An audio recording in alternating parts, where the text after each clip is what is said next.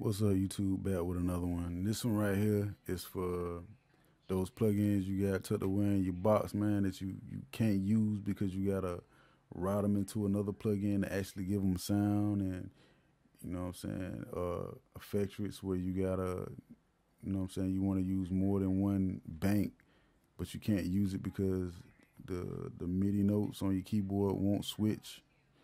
Well, I got a solution for all of that, and that solution is patchwork. Open up patchwork, look like this right here. So I'm gonna make this short and sweet. So pay attention, come on, move a little fast. All right. Now, first thing we're gonna do, we're gonna bring up Cthulhu. Right now, So you got Cthulhu over here chilling. And we're gonna put some sex on it. We're gonna put some uh put some keyscape on it. So that you got that, we'll put it in classical, turn it down, turn it down, back out. So now we got to do some routing. So we're going to leave this in host. We're going to use port A for the out. For the in, we're going to put it on port A, channel 1, and you should get this. So before we had this, now we have this. Alright. So now if you notice we got four pre's, we got four posts, and we got the parallel chains, and we got eight of those. So if you want more, hit that. You want more, hit that. So all of these you can put VSTs and uh, effects plugins on. So you can have like big crazy patches and anything that you make you can save. So like when when you put all your VSTs in here and these and you you get the uh, desired tweaks and everything that you want, you can save that whole thing as a patch. So when you go back in, it'll be in a VST presets thing. Then you just pull it up, and all your VSTs will come right back just like you had them, exactly tweaked the way you you like them and everything. So that's something to keep in mind. It also does animation and all of that, and I'll show you how to set that up and everything. Uh, let me show you.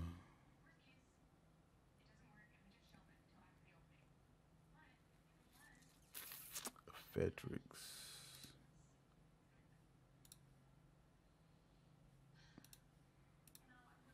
Alright, so now we hit the keys, see it changing right here at the top.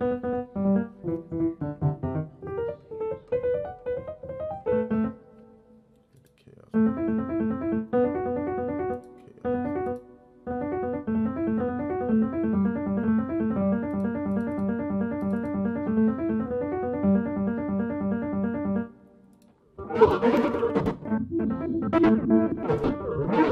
So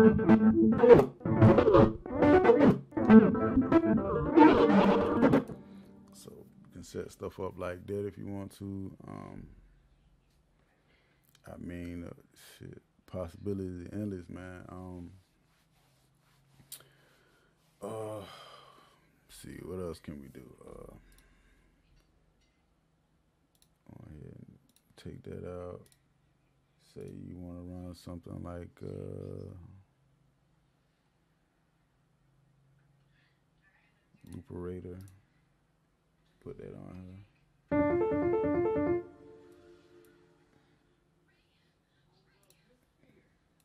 Close that out. I'm gonna just put some notes in here so we can we can have a placeholder. So when we hit play, hit play, and I ain't gotta hit the keys.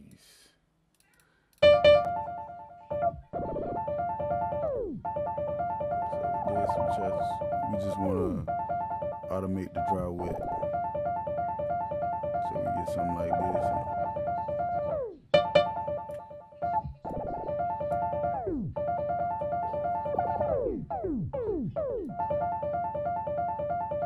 Alright, so what we're gonna do is bring back. Go in here, go down to your stop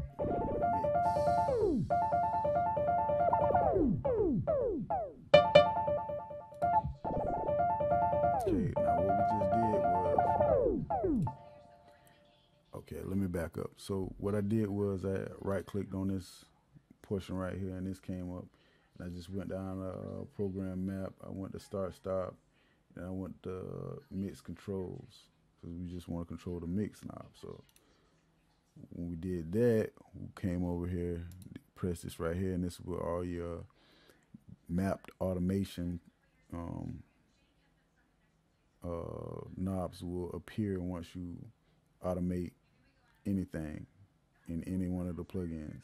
It's going to show up here, so you have this actual physical knob. So we can either, you know, go ahead and automate it with this knob right here, but I know most people are going to want to have the physical knob to actually do what they do. So what you want to do is I'm gonna put it in projects and I hit this learn button. I'll make sure I got this knob right here right. Yes. Got that right. So now you gotta do is leave it in learn. Move this knob. We're good to go. So now we have that knob mapped the looperator. So we can now control.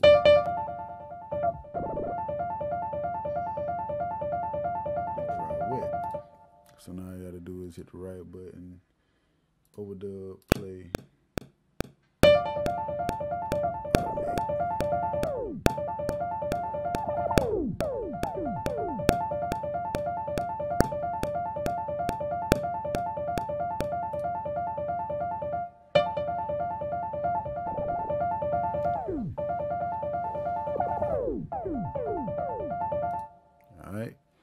So now you know you have the ability to to automate. Um,